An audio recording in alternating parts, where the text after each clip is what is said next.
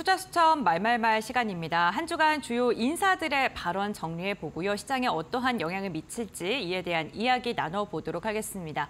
오늘 이 시간 타키온 뉴스의 조호진 대표 함께합니다. 안녕하세요. 예, 안녕하세요. 네, 반갑습니다. 네, 오늘은 또 어떠한 인사의 발언을 준비하셨을지 기대되는데요. 지금 바로 만나보시죠.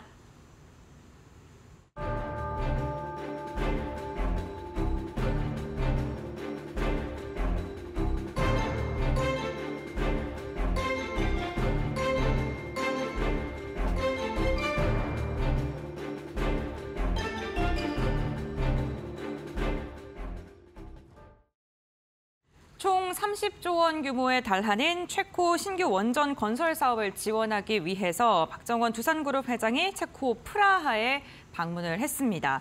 어, 원전 수주를 위한 간담회를 가졌고요. 여기서 어, 수주를 하겠다라는 의지를 강력하게 표명한 것으로 보이는데 네, 이에 대한 이야기 나눠보겠습니다. 예, 그렇죠. 왜냐하면 그 프라하가 먼 곳인데 네, 그. 두산그룹 회장으로서 사실은 하루하루 처리해야 될 일이 많은데도 불구하고 이 사안이 너무 중대한 중차대하기 때문에 프라하까지 직접 가서 프라하의 정부 관료들을 만나서 사실은 이제 두산 그룹이 정확한 두산 에너비를 갖고 있는 네. 그 원자력 주구기에 대한 장점과 그 다음에 또 경쟁자에 대해서 이렇게 설명했을 거로 보입니다. 어, 네. 이런 맥락에서 이제 박정 회장이 사실은 뭐 자신감의 표명이지 한편으로는 의지에 다졌다라고 볼 수가 있는데 이런 것들을 사실 종합해 봤을 때 사실은 이번에 설령 프라하에서 체코 원전을 수주하지 못할지라도 많은 분들이 아시, 아시겠지만 이미 폴란드를 비롯해 전 세계 각처에서 이제 원전을 새로 짓겠다는 그 계획이 넘쳐나고 있습니다.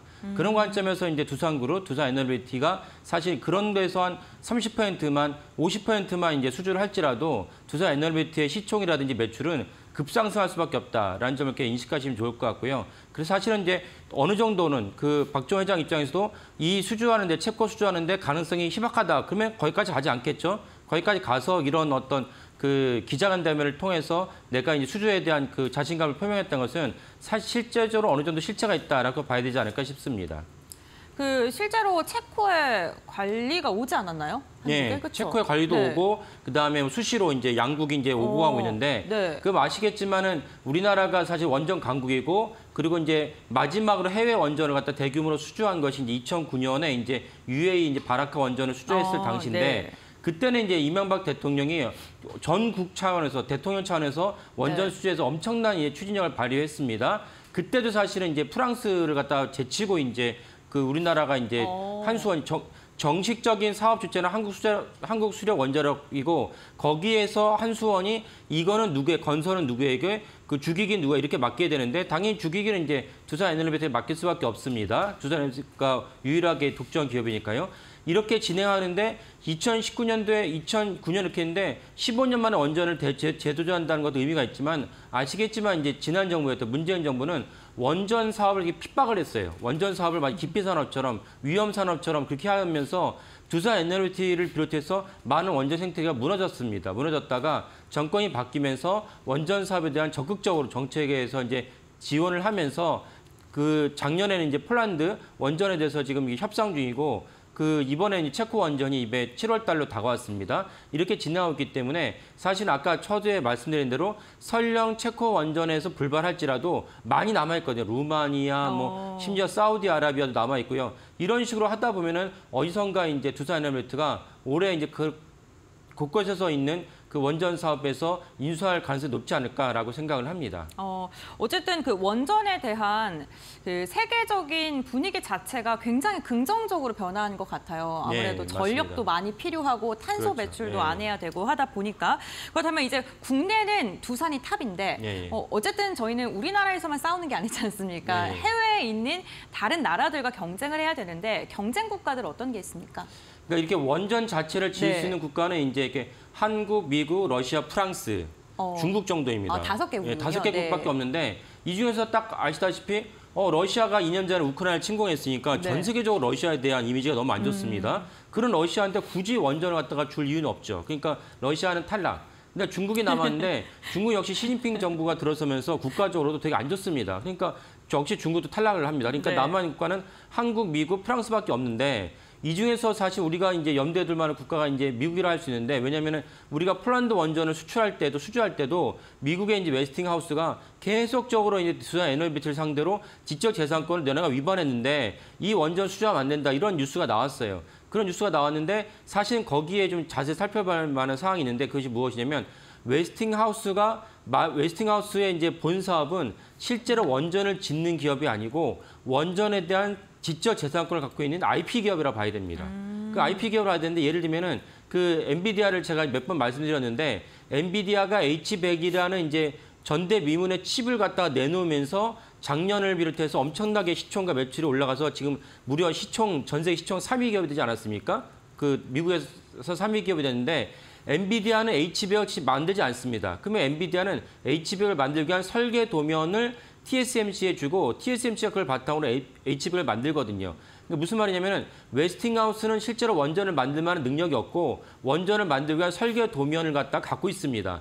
그래서 설계 도면과 특허권을 갖고 있으니까 우리나라 웨- 두산 에너베이트에다가 수시로 야 니네가 우리 원천 기술을 가져간 게 있어 거기에 대해서 보상해야지 이런 맥락이 있습니다. 그렇다면 바꿔 얘기한다면은 만약에 설령 웨스팅하우스가 이번 체코 원전에서는 일찌감치 탈락을 했어요. 웨스팅하우스가. 그 프랑스랑 우리나라밖에 안 남았는데 만약에 설령 웨스팅하우스랑 다른 나라에서 원전 수주할 때 똑같은 그런 뉴스가 날라올 텐데 웨스팅하우스가 야 우리 지적재산권을 침해했으니까 두산 에너베이트 너네가 우리한테 좀 보상을 해야 돼. 이렇게 날라올 때 그렇게 문제를 삼을 필요는 없다. 왜? 웨스팅하우스는 지적재산권만 갖고 있으니까 결국 웨스팅하우스가 어디선가 원전 수주하게 된다면 원자력 기기는 주기기는 어디서 생산해야 되느냐 두산 에너베이트가 생산할 가능성이 높습니다.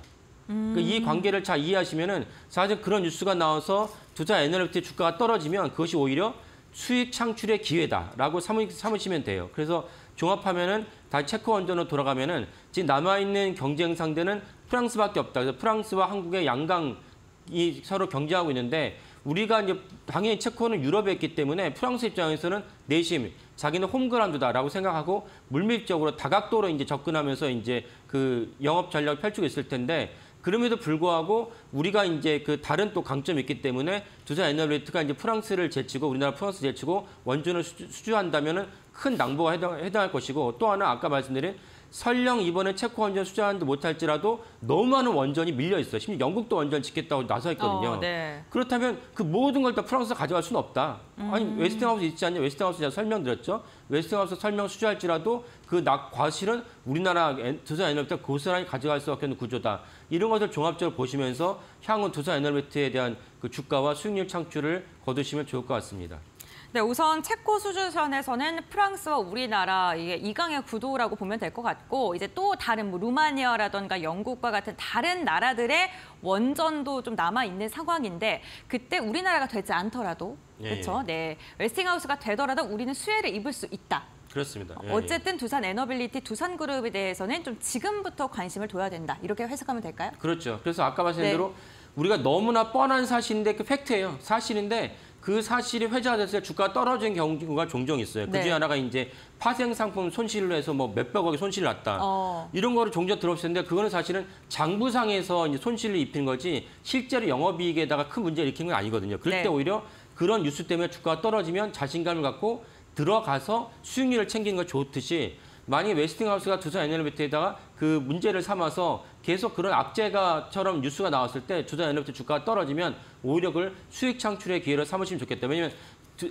웨스팅하우스가 마지막으로 원전을 지은 그 미국의 원전이 T, TMI, Three Mile Island에서 79년도에 가동을 시작한 어. TMI거든요. 네. 그러면 79년에 원전을 시- 그걸 마지막 가동을 했는데 지금 벌써 44년이 지났어요. 네. 그러니까 웨스팅하우스는 사실 거듭 말씀해주지만 실제로 원전을 지을 만한 능력이 없어요. 음. 그러니까 주기기를 생산할 만한 능력도 없고 그렇다면 이제 누구한테 맡길 것이냐? 두산 에너베이트 에너베이트밖에 네. 없다. 그런 관점에서 웨스팅하우스랑 두산 에너베이트의 숨은 이면의 관계도 같이 보시면 좋겠습니다. 네, 알겠습니다. 어, 30조 원 규모의 체코 신규 원전 건설을 시작으로 해서 여러 가지의 낭보가 들렸으면 좋겠습니다. 두산 에너빌리티 두산그룹의 회장이 직접 체코까지 찾아가서 어, 다양한 이야기를 나누었는데 이제 7월에 어쨌든 결과가 나올 예정입니다. 긍정적인 전망 어, 제시를 해주셨는데 두산 관련 그룹주를 좀 꼼꼼하게 확인해 보시면 좋을 것 같습니다. 첫 번째 말말말 여기서 마무리하도록 하고요. 이어서 두 번째 주요 인사의 발언 확인해 보시죠.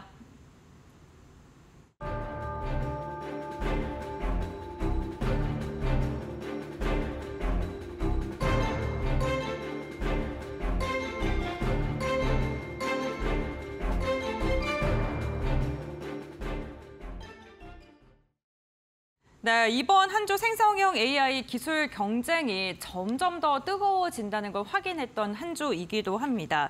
챗 GPT가 새로운 서비스를 출시했는데 챗 GPT 4.5라는 이름으로 예, 예. 출시를 했더라고요. 맞습니다. 네. 예. 그 5라는 뜻이 굉장히 궁금한데요. 예. 지금부터 알아볼까요? 그 저도 처음에 네. 그 문, 글자로 저 봤을 때는.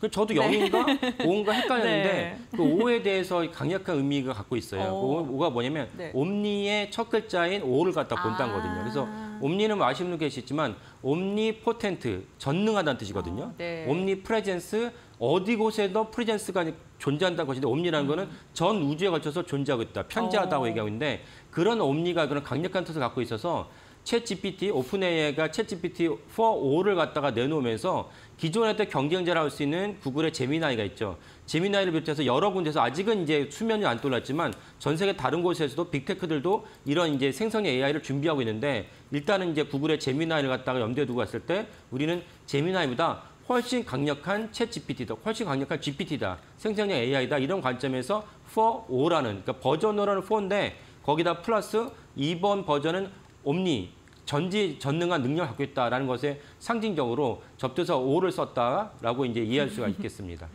네, 근데 구글도 재미나이 이슈가 있지 않았습니까? 25년 만에 진짜 혁신을 했다. 막 이러한 네. 긍정적인 전망도 있는데 어쨌든 AI의 광풍이 치열해지고 있는 건 맞는 것 같고 여러 어, 기업들도 지금 참여를 하고 있는 것 같은데 우리나라가 뭐 구글이나 엔비디아가 될 수는 없지만 예, 예. 그래도 세계를 주도하는 그러한 시대 흐름에 좀 편승할 수 있지 않을까 싶거든요. 어떻게 그렇죠. 보십니까? 네. 그래서 뭐 사실 제가 몇 번 말씀드렸지만 우리나라의 IT 기업의 가장 큰 아픈 점은 약점 뭐냐면 네. 소프트웨어가 이제 빈약하다. 음. 근데 사실은 이거는 뭐 소프트웨어 빈약하다는 것은 우리나라만 문제는 아니다. 예를 네. 들면은 지금 여러분들이 사무실에서나 가정에서 쓰는 OS는 다 윈도우 OS를 쓰고 있죠. 네. 일반 PC에서는. 그다음에 몇몇 분들은 이제 맥북에 iOS를 쓰고 있고 그다음에 우리가 이제 갤럭시에서 쓰는 OS는 안드로이드, 구글 안드로이드 쓰고 있습니다.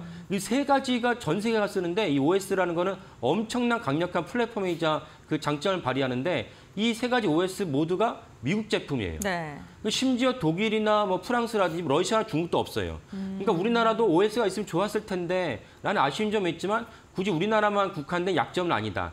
그런데 사실은 챗GPT를 말씀드렸을 때도 이런 OS, 소프트웨어가 어느 정도 엄청난 강점을 갖고 있어야 이걸 개발할 수 있는데 우리나라는 이제 소프트웨어 측면에서는 약점이기 때문에 이거를 개발할 능력은 없다라고 어, 네. 보는 게 맞겠고 다만 챗GPT를 실제로 시연하기 위해서는 세상에 존재하게 만들기 위해서는 하드웨어가 필요하지 않습니까? 그쵸. 그 하드웨어에서는 아까 서두에 말씀드린 대로 그 엔비디아의 H백이 필요한데 음. H백을 만들려면 H백은 대만의 TSMC H백을 만들고 네. 그때 H백에 필요한 것이 또 무엇이냐면은 HBM3 일 갖다가 같이 겉들어서 붙여줘야지 이제 H백이 원활하게 돌아가거든요. 네. 이거를 많은 분들이 아시겠지만은 작년에 HBM3는 그리고 아직까지는 오지 SK 하이닉스만 이제 독점으로 이제 공급을 하고 있어요.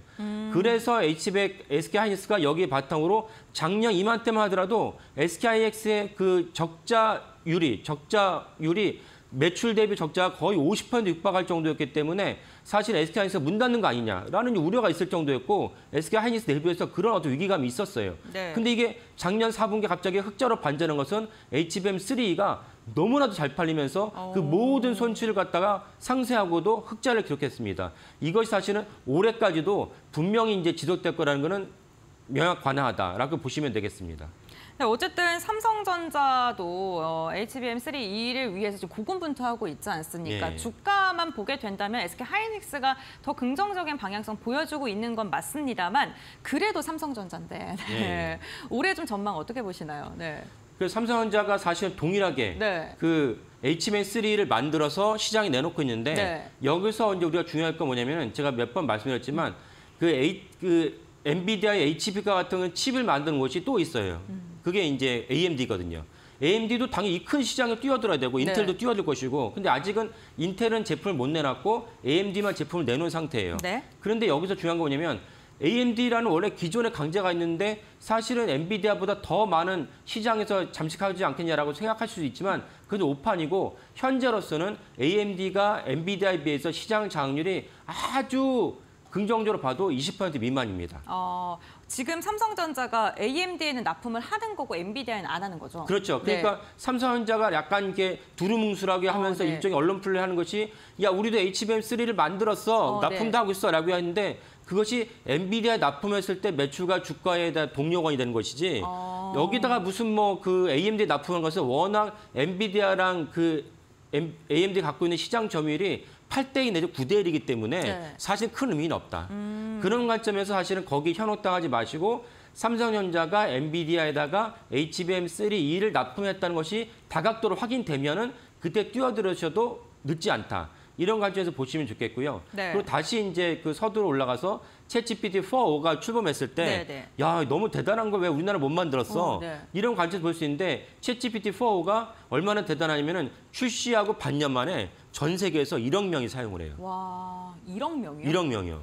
그러다 보니까 지금 자료화면 나오고 있는데 처음에 23년도 이제 그 11월에 출시가 됐습니다. 그러다가 네. 쭉쭉쭉 올라가가지고 맨 마지막에 꺾어진 데가 뭐냐면 아이폰에서 이 챗GPT 4를 갖다 아, 챗GPT를 4를 가- 챗GPT를 사용할 수 있게 해주면서 1억 명을 넘어서 1억 8천 명까지 올라갔어요. 음. 이게 보수 작업에서 여기 1억 명을 사용하다 보니까 아까 말씀드린 그러면 챗GPT를 갖다 실제로 하기 위해서 필요한 칩 H100, 네. H100을 세계 곳곳에서 이용해야 되고 그러다 보니까 이제 아까 말씀 HK 하이닉스가 D램에 있어서는 삼성전자 세컨이라고 생각했는데 작년을 기점으로 사실은 저는 이제 뒤집었다고 생각합니다. 아직은 공식적으로 나오지 않았지만 D램의 매출과 비용 관점에서는 삼성전자를 갖다 SK하이닉스가 뒤집었다. 적어도 D램에 있어서는 이것이 사실은 챗GPT가 만든 시장의 이제 변화다 이렇게 이해하시면 되겠습니다. 어, 어쨌든 울프리서치도 지금 AMD를 더 눈여겨 볼 것이다라고 또 예, 간밤에 예. 말하지 않았습니까? 맞아요. 그러면은 AMD가 더 많이 상승하게 되면 삼성전자가 따라잡을 수 있지 않을까요, 주가적으로? 예. 그래서 네. 오늘 새벽에 이제 그 네. 울프리서치가 이제 우리가 여러 가지 종목을 갖다 추천하는데 네. 기존까지는 엔비디아였다가 그쵸. 오늘부로 이제 그 AMD로 바꿨다라고 얘기를 했어요. 그래서 네. AMD 주가가 올라가고 엔비디아 주가가 떨어졌죠. 그래서 오늘 SK하이닉스가 주가가 떨어지는 거예요. 아, 그러니까 제가 거듭 말씀드리지만 네. 전 세계적으로 대장주가 있는데 2차 전지의 대장주 테슬라고 음. 테슬라가 여러 가지 잡다한 노이즈 때문에 떨어지는데 어쨌건 시장에서는 최종적인 결과로는 네. 테슬라가 떨어지면 우리나라 국내는 모두 2차 전지 주가 떨어져요. 음. 전 세계적으로 엄청난 챗GPT 관련 주식이 있는데 여기서 만약에 엔비디아가 대장주인데 엔비디아가 무슨 일인지 모르죠. 떨어지면은 SK 하이닉스, 한미 반도체 비롯한 관련된 주식이 같이 떨어지고 만약에 엔비디아 주가 올라가면은 같이 올라가는 겁니다. 이런 맥락에서 시장의 동향을 살펴보시면 되는데 그 울프 리서치는 이제 왜 AMD를 갖다 놨냐? 엔비디아가 너무 많이 올랐다. 아, 예. 네. 그러니까 엔비디아의 미래 가치가 부정적이어서 그런 게 아니고 엔비디아가 너무 많이 올랐는데 AMD는 이제만 올라가는 거 아니냐 이런 맥락에서 이제 AMD를 갖다 선택했다고 얘기를 했습니다. 근데 저는 사실은 이게 대장주, 그 사실 꼭 이런 분야뿐만 아니라 모든 데 마찬가지지만은 이런 대장주 관점에서 사실 누가 시장을 리드하냐가 대장주거든요. 그 대장주를 먼저 1등 기업을 사는 것이 맞습니다. 그런 관점에서는 여전히 저는 엔비디아가 AMD보다 우월하다고 보고요. 또 하나 참고로 말씀드린 게 뭐냐면 지금 자료화면 나오고 있는데 엔비디아가 H를 갖다가 판매할 때 원가가 3천 달러입니다. 근데 이걸 갖다가 빅테크한테 대규모로 판매할 때는 3만 달러에 판매해요. 어, 10배 장사죠. 엄청나죠. 그러니까 10배 장사인데 이걸 대규모로 판매할 때 3만 달러인데 이걸 갖다 소규모로 판매할 때 예를 들면 이제 이베이라든지 CDW라는 것이 역시 그런 어떤 우리나라 옥션 같은 이제 네. 소규모로 그 판매하는 것이 네. 이커머스인데 여기는 거의 10만 달러에 판매를 해요. 음. 이것들이 없어서 난리다. 카이스트랑 서울대에서 H100 있어야 연구할 때인데 없어서 난리다. 이게 얘기할 정도예요. 무슨 말씀이냐면 엔비디아가 10배나 이제 네. 하고 있으니까 사실은 SK하이닉스나 한미반도체나 영업이익률이 높을 수밖에 없다라는 음. 것도 동시에 보시면 좋을 것 같아서 자료화면을 가져왔습니다. 네, 어, 요즘 정말 핫한 이슈이다 보니까 저희가 H백 그리고 엔비디아에 대한 이야기 조금 더 자세하게 하고 싶은데 오늘 말씀은 여기까지 듣도록 하겠습니다. 어쨌든 전 세계 AI 전쟁이 점점 더 강화되고 있고요. 이에 대한 수혜주 찾기에 분분한데요. 오늘 말씀 좀 도움 되셨으면 좋겠습니다. 투자 수천 말말말 여기서 정리하겠습니다. 대표님 고맙습니다. 예, 감사합니다.